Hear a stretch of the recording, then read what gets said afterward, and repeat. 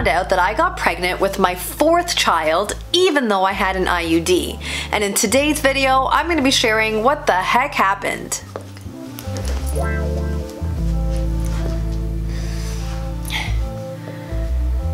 Okay. pregnant on IUD.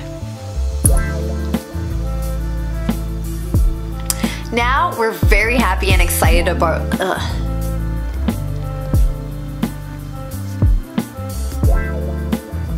Planned C-sections with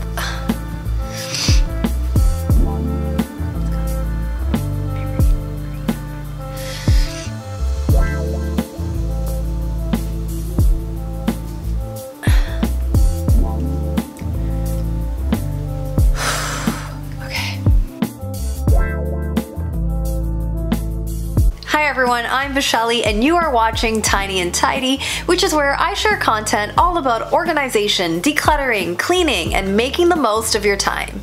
Today's video is obviously a little different from what I typically post. I'm about to get pretty personal, but I think it's an interesting story and a lot is about to change in my life, so I figured I might as well explain what happened so that all of you that follow me or watch my channel regularly are in the loop with what's going on. So in 2014, my husband and I welcomed our daughter Isha into our lives, followed by our son Kian in 2016. I always pictured myself having two kids, and we were both so happy that we had a girl and a boy and truly felt that our family was complete. A couple years later, I was surprised to find out that I was pregnant again. We were living in the condo where we currently live and didn't want to move. Having a baby and going through the whole newborn phase is also exhausting and we weren't sure if we wanted to go through all of that again. But after thinking about it for a bit, we realized that we could handle it and we didn't have to move. All we needed to do was declutter some more, rearrange the condo, and it would work perfectly. So we decided to have baby Josh, which is the best decision we ever made. He is an absolute joy and I can't imagine what life would be like without him. I had planned C-sections for all three of my kids and wanted to get my tubes tied during this final C, but my doctor advised against it and explained that there are other options and what if we ever changed our minds and wanted to have more kids. I knew I wouldn't want to have any more, but my husband Kieran agreed with the doctor and ultimately I decided not to tie my tubes. Instead, I decided to get an IUD. Not only did I get an IUD, but I got the strongest one. My doctor refers to it as the Ferrari of IUDs. It's called Mirena, and I chose to get this strong hormonal IUD because I was told that it would help with my period, which happens to be extremely heavy and painful. I know, TMI, but just bear with me. So I really wanted to do something about my crazy periods and thought that this IUD would fix that issue. Apparently there's only a 0.8% chance of getting pregnant with this IUD, so I figured I was good to go. When I first got the IUD, my periods continued to be heavy and painful, and months later, nothing changed. I asked my doctor about it, and he said just to give it time, so I did, and then finally, my period stopped. I figured the IUD was working, and I'd no longer have crazy periods anymore. All of this was happening around the time when the pandemic had started, and I was suddenly feeling tired and kind of nauseous. I thought that maybe I was having COVID 19 symptoms and decided to wait and see what happens. But then a month or so later, my stomach started getting bigger, and I had no idea why. My husband assumed that I was just gaining weight since we were now home all day, constantly eating, but I knew that I wasn't eating any more than I usually do, so I didn't understand why this was happening. Then one day, I decided to try on my jeans, and when I couldn't button them up anymore, I told my husband that we should get a pregnancy test just to rule it out. We both knew that it was very unlikely since I had an IUD, but we went for a walk to the dollar store and picked one up. By the way, the dollar store has pregnancy tests that work perfectly fine. I've always used them and never had any issues. There's no need to buy expensive tests from the drugstore. In fact, there's even cheaper ones available on Amazon and I've also used and know that they work. I'll link them down below if you're interested. Anyway, we got the test, and as soon as we got home, I took the test and it immediately became positive. We were in absolute shock and never expected this. I called my doctor's office right away and they had me come in for blood work and an ultrasound so that they could locate the IUD. Well, during the ultrasound, they couldn't find the IUD. Instead, they found a 12 week old baby. They think that the IUD probably fell out during one of my periods and I just didn't notice. Anyway, my husband and I now had a huge decision to make and we didn't really know what to do.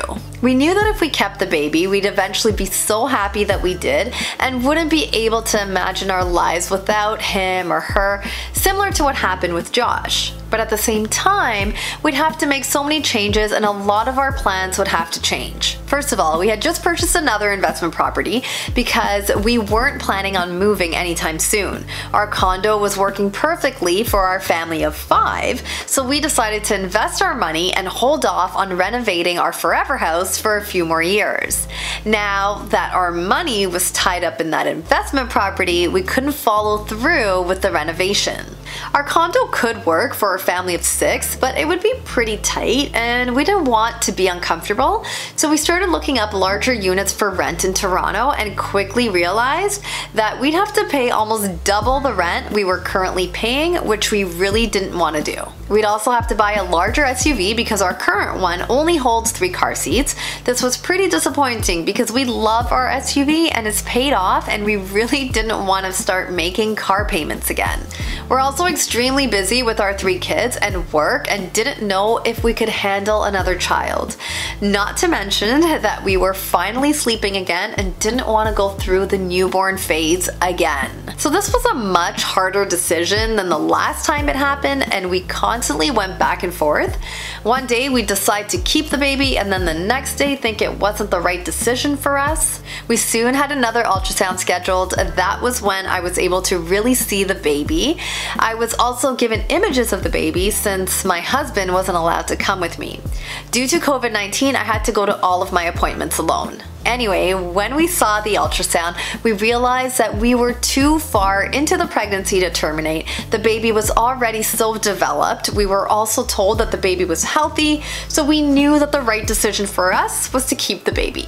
Now we're very happy and excited about our decision and can't wait to meet this baby. The kids are also super excited and are constantly kissing, hugging, and talking to my growing belly. As for our living situation, we decided that since that investment property that we recently purchased hadn't been rented out yet, only the basement had a tenant, not the ground floor or the top floor, we figured that we might as well renovate that house and live there for a few years before we renovate that forever house that we keep on putting off. Renovating the investment property won't cost nearly as much as our forever house would cost, so we can afford to do it now. It's not a big house, so we can't live there forever, but it will definitely buy us some time and will work well for a family of six for a few years. Our plan is to design it in a way where the duplex home can easily be converted into a triplex and rented out when we move out. So we're hoping to complete this renovation over the summer and hopefully move there before the baby arrives.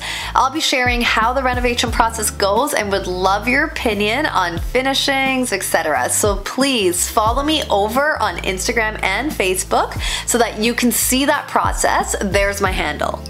Also, subscribe to my channel and hit the notification bell so that you'll be notified when I post new videos. I know there will be a lot to share over the next few months. I'll be sharing how I declutter and uh, how I organize our new home, so you won't want to miss any of that. And if you're interested in learning how to declutter, organize, and clean your own home step by step, make sure to sign up for my Clear the Clutter membership. That's where I teach how to do it all and implement the right systems to maintain a perfectly organized home. You can find out more on my site, www.tinyandtidy.co, or by clicking on the link in the description box down below. If you like this video, please hit that like button and share it.